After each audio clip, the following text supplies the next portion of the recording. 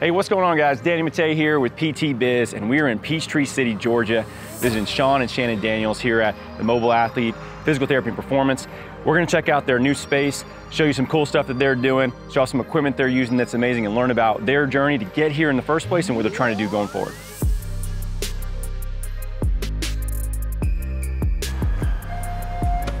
All right, we're here with Shawn. Shawn, what's up, man? What's up, man?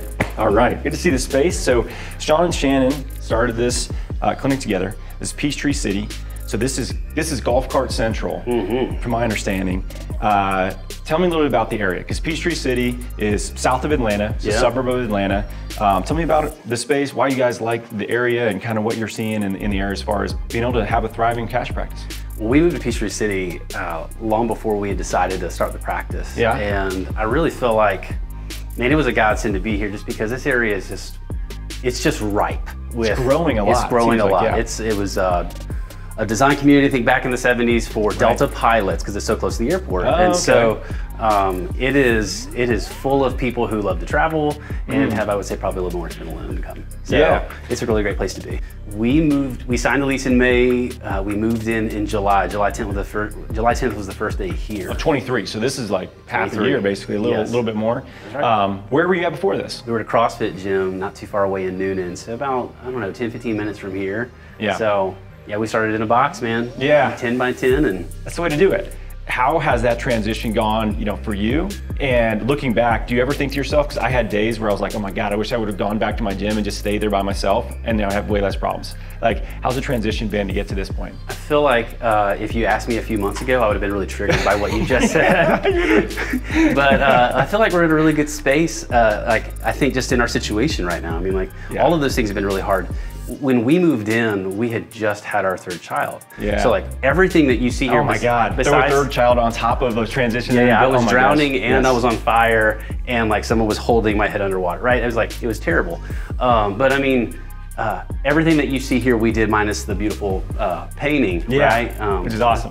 But it was, um, that was probably the hardest part, I feel like, the build out, because she and I did almost all of it by ourselves. We had some friends and family that helped out with a bit of it, but Wow. like we built the desk, like we painted all the walls minus the mural, like we, we hung the cabinets, like Dang. we did the flooring, we did everything, you know, and so we're just trying to save a buck because we knew that it was gonna be really hard. And that was before we had our first hire Yeah. as, uh, you know, our, our first PT. And then we hired a strength coach. And so our admin went out on maternity leave somewhere in there. And so it's like I picked up all that. See, so anyways, like Yeah. it, has been a, an interesting transition, but it's been, I feel like now it's been a little bit more of a reprieve. Like Yeah. we've been able to sit back and be like, okay, I can enjoy this for a second. And then I got to get right back at it. Yeah, yeah. So- Tell me a little bit about the layout, why you guys chose this, and, and kind of what you're what you're using this for as well. So we we wanted to maximize the space as much as we could, and we felt like the collapsible rigs because there's there's a couple different ones that you can choose Yeah, from. these are these are cool because they you, they'll flatten completely out. Like so, if you haven't seen these, they'll literally be flush, not fully flush with the wall, but you can get them out of the way if you want to have more open gym space. That's right. We use them so much that we don't really find a need to put them away. Um, but you know, so I was going to have multiple providers. That was always part of my vision. This thing was going to grow. We were going to be in multiple gyms. We are going to have multiple locations. Yeah. That's still the vision. And like when we have multiple providers, like we are movement-based, you know, fitness-forward clinicians. So it's like well, these got to be out. We got to be doing this. Like we're, we're back squatting, we're deadlifting, we're bench pressing, we're doing stuff like this with people every day. Yeah. And so we wanted to be able to have as uh, we want to be able to maximize the space as much as possible. Yeah. Like I had a lady who she had end-stage uh, arthritis in both her knees, and she was like, "Hey, I have no more pain really right now, Mm-hmm. um, but I don't have a gym, and I just want to keep moving. But I know that these sessions are kind of expensive doing one-on-one. Yeah. And I was like, you know what? I've got several people like you that are, are asking me like, why don't we why don't we create a class that Mm-hmm. we continue to do this stuff and just lower the cost point? And so we're just trying to do that with as many people as we can. So it's like continuing on that therapy progression. and just, my mind, it just doesn't stop, right? Yeah. And a lot of these individuals are not even a part of a gym in our area. For Right. The people that we get, like sure, we get some that are, and we try to push them back to their gym, but the ones that don't, it's like if they stop, they know that their fitness will stop in many ways, so they don't have that coaching accountability. So I've been staring at this piece of equipment. I would love for you to show me what this thing is and how you use it. You to pull it out? Yeah, let's pull it out. All right. So the freak athlete, huh? You know, so this was a, a, a Facebook buy, you know, like. Was it really? uh, well, you, got know, targeted, or you just saw somebody using it? I got it? targeted, man. They got me. Um, I had been looking for some type of device that I can have in the space that I can do like Nordic hamstring curls Yeah. or uh, I, I really wanted a GHD, right? Yeah. Like I get a lot of people coming with back pain. It's like, how can I get you on something that I can use versatilely that I can still get some like low back distraction on, Yeah. right? And so this, you know, the phone's listening, so it's probably going to pop up Freak Athlete on my phone again later. But uh, oh yeah. but- but- everybody's gonna get it. that's right. but so in, in, it has like four different functions, but um, we use this thing all the time. I'm gonna I'm gonna hop in this right here. This is this is a, a No, it's all good. This is gonna be. Can, this is the. Can you do a Nordic test? I'll. I will fail it. I'm gonna fail it. Okay. I'll put I'll take the six inch Rogue box and I'll put it in front. Yeah. But I'll you know we'll do Nordics here, right? So don't don't judge me. That's pretty good. I'll give community. you. That's like. That's, that's not bad. You can transform into a GHD and then hyper extension. So we'll pop this guy up. Oh, okay.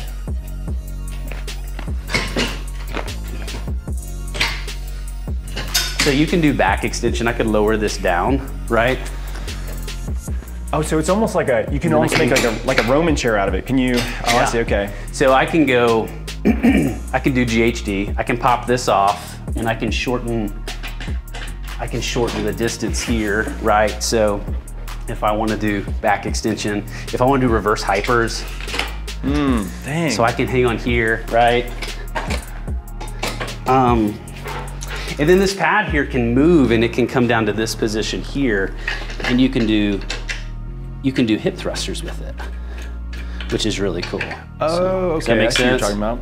But I think when you look at these footprints, you've got to have a, a really like efficient piece of equipment, Mm-hmm. as many pieces of equipment that are efficient as possible, right? Like even just even something as simple as like storing the bars like that, just vertical, like just saves you a lot of space. Or you're using wall space if you're not going to do that, right? Mm-hmm. right. You're like a gun, you know, rack sort of uh, um, for, for the barbells. So I think this is cool, man. Not, not and no affiliation with Freak Athlete, by the way. We're not getting any commission for that. uh, this is just this is just like a cool piece of equipment I've never seen this before. Yeah, and from a conditioning standpoint, you guys have what you have three different options. So you got air bike, you got this is what a C2 concept. Yeah, yep, yep. We got the bike erg and then we got the treadmill. Yep. This thing, I'm gonna give a shout out to that. This thing's awesome. Yeah, it's I great. love these, and they're super space efficient. Um, but just from like a pure, you know, zone two conditioning stand, if you want to just like get on it and go, that thing's awesome. I really super like cost that. effective too. Yeah. To have that that bike, to have the difference between the two, like that bike right there is going to be in hell, and everybody hates that one. Yes. Right. But then to be able to get on this bike, and it's like okay, so I mean, like Yes. the, the, the, the cost point, as I mean, you could look at a watt bike, right? I mean, you can get some, you can get really expensive with some of these devices, and so I felt like even though it's Rogue and Rogue is pretty expensive, this was actually pretty good. Good.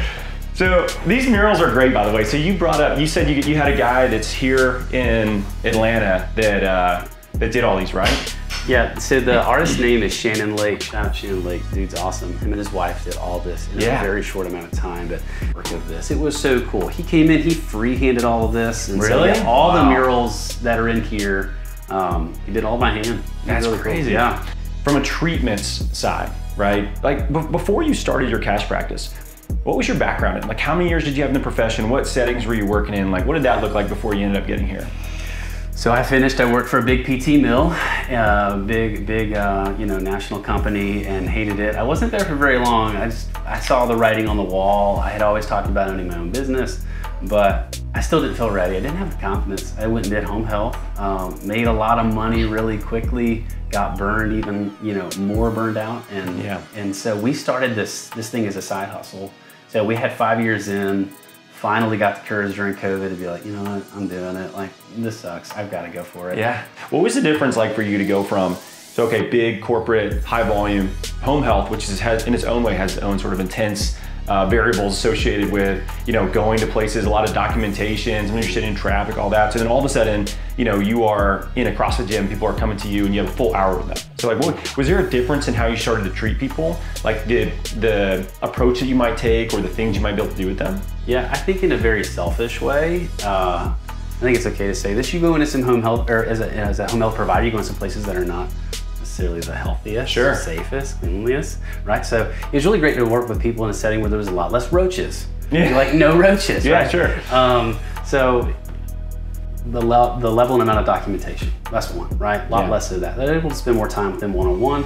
So the transition was was a lot uh, in the beginning, I think trying to fill time. It was like, oh, I can do this. Yeah, I can solve your problem. Wait, what? Am I think is actually more valuable, you know, than what, what we maybe the hard skills we might think. It's just like the ability to have a conversation and to I don't know if it's like motivating people, but maybe it's just like steering them in the right direction mm-hmm. um, and helping them make the right decisions over an extended period of time. I think is really, really valuable.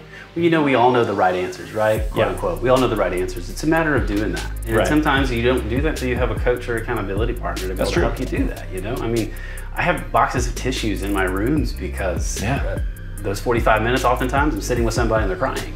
Dude, right? totally. I mean, like, it's like it's not uncommon for someone to start breaking down because of the pain, how psychologically it has just affected them. Yeah. You know, and so once we get a breakthrough on that, that's really cool to see where they start to light up. Their life changes. You know, a lot of them right now it's just sleep. We're just talking about sleep. I feel oh like for the majority of the session, and it's like, man, I really get paid this much to do just to do this to talk to you about hey let's not look at the phone and let's just go tuck in bed okay yeah. like early this space is amazing it's you guys should be really proud of this this is awesome but you know let's talk five years from now, right? You, the mobile athlete is, what does it look like? We've got multiple locations.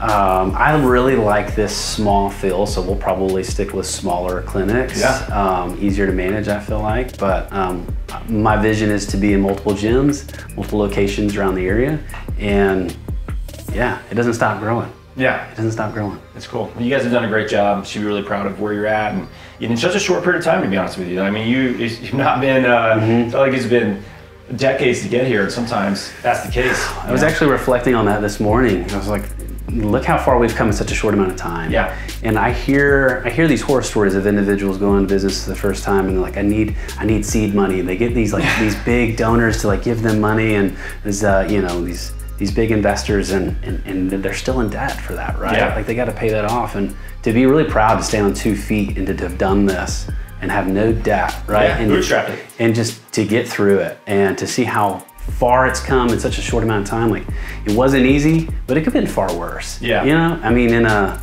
in a strainful, stressful way. And we appreciate your time, man. We really do. And we got a lot going on. I know you're super busy. So yeah. That's it for this one. We'll catch you guys in the next one. Peachtree City, the mobile athlete. You guys killed it. We'll see you on the next one.